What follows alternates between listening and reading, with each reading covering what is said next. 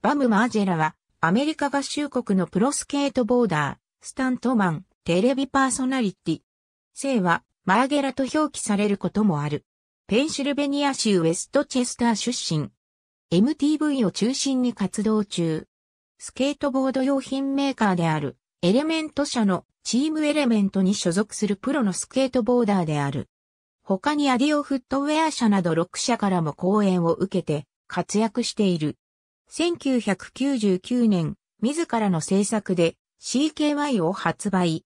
これは、ストリート系のスケートボードビデオではあるのだが、街中でやりたい放題をやりまくるという内容のものである。このビデオが後のジャッカスへとつながってゆく。2000年、ジョニー・ノックスビルの持ち込みがきっかけとなって MTV でジャッカスが制作される。